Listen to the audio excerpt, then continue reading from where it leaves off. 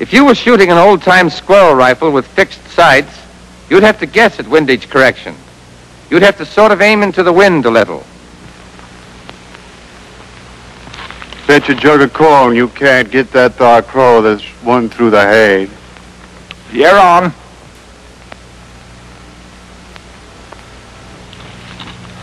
Right smart wind blowing. I guess she'd take about five inches off toward the right.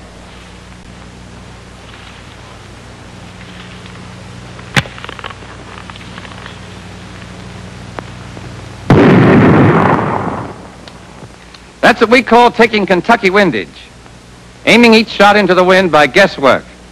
And if you had nothing better than a hillbilly rifle, that's what you'd have to do.